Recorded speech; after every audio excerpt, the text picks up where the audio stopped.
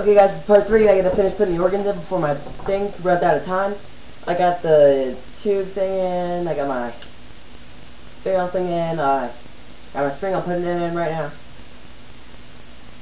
This is all gonna come in three parts because, uh, it's becoming retarded. Uh, it's actually pretty hard. I think it's pretty good. When it's hard, it, uh, usually shoot. Let's have it cocked back right now. Okay. Gonna put the end thing in. I'm gonna loop this up real quick.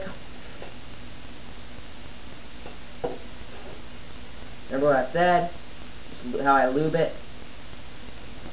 This thing's off your pants or something.